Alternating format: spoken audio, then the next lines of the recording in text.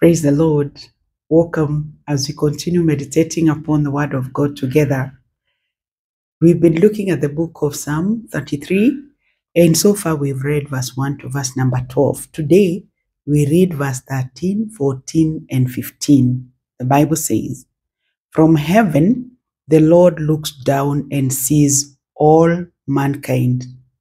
From his dwelling place he watches all who live on earth. He who forms the hearts of all, who considers everything they do. From the beginning, we said that this psalm reminds us or helps us to see the sovereignty of God. And it is clearly shown on his creation. And as we look at history, we get to learn more and more of the sovereignty of God.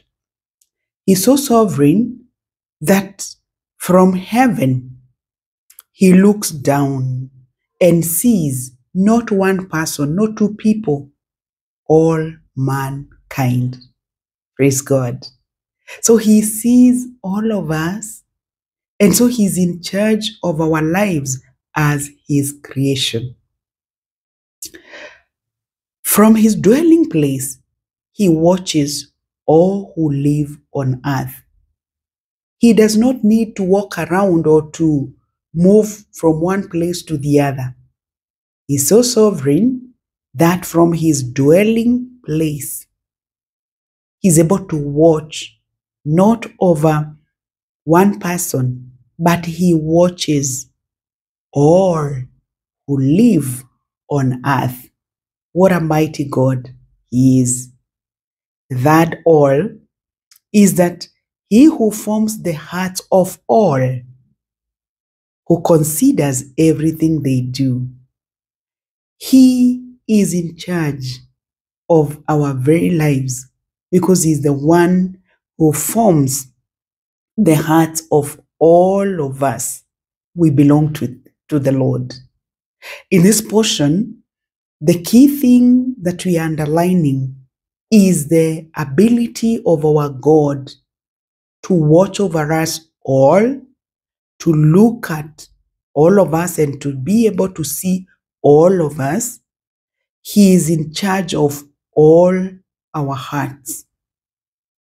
And this God, as He watches, as He sees from heaven, as He is in charge of our hearts, He considers everything we do. All what we do, God considers that. He can see it, He knows it, and He is God of our lives. From heaven, He looks down. From His dwelling place, and He's in charge of all our hearts. He considers everything we do. This portion of scripture reminds us that releasing ourselves to God is the best thing so that He may lead and direct our lives in totality. And this God is so powerful, so, you know, so powerful and mighty that He sees all. Even when you think of being able to control different things in this life, there is nobody who has been able to see all.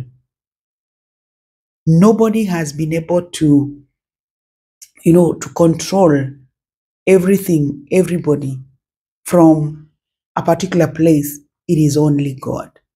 In other words, even where you are right now, God is in charge of your life.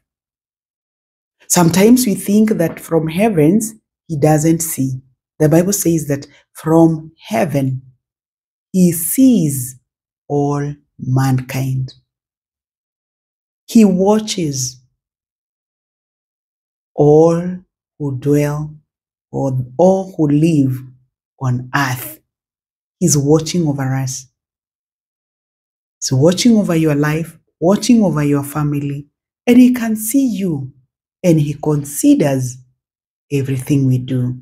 Do good, follow God, keep at His command, and you will always enjoy His blessings. In the name of the Father, Son, and the Holy Spirit. Amen.